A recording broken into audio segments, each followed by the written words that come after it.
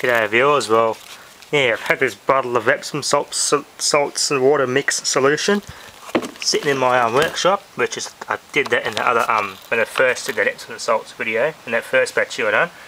That's just what's left of it. So yeah put some of that and topped up this old 6 volt battery which is set dry for oh, I reckon about 6 years. Set dry, bone dry, dead as a maggot.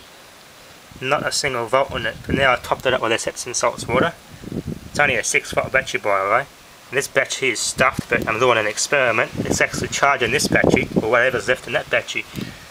And it's actually starting to hold a voltage now so it's bubbling up good too. Now I don't have a 6 volt charger for this battery so I'm just going to use this battery that holds 8 volts because of these two cells are dead. 4 volts gone so yeah 8 volts to charge a um, 6 volt battery. And we'll see how she goes. It's been on since let's say about 11 o'clock today.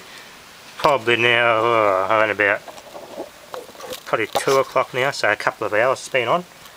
I'm going to do a voltage check. First let's see what's in the main battery to see if it actually still is holding 8 volts. We'll do a voltage check here on this get our leads.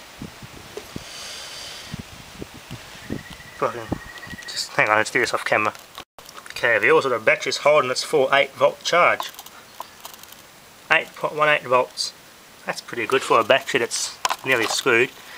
Then an amp measurement, I think i got to plug it into here for amps. So if I take it out, I should get a better reading if I plug it in here. Now I switch on to amps, DC, now we'll see what sort of reading we'll get. Just get hard to do with one hand.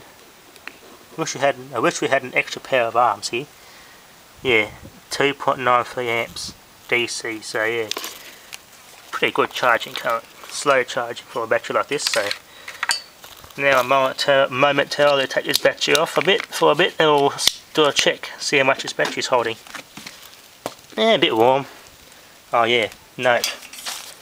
It is 36 degrees, nearly 40 degrees Celsius out today. So it's a pretty hot day today. It's supposed to be storms today, but no, the weather forecast is full of crap. They said today was going to be stormy, but didn't turn out that way. Let's put that in there.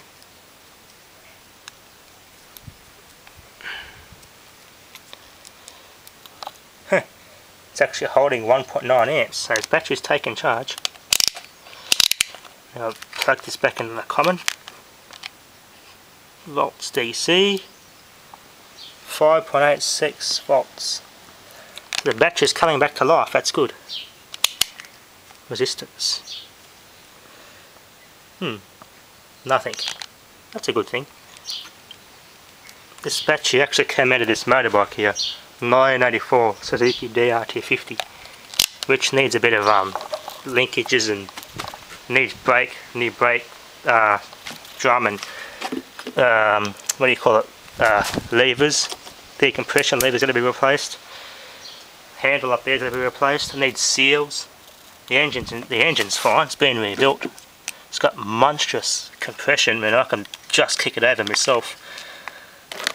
But yeah, I don't ride it though because it hasn't got enough. Yeah, right in that condition it's in with no levers and stuff and no brakes. It's kind of dangerous to ride as it is.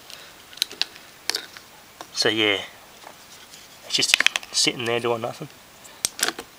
But yeah, it's just a little 6 volt battery.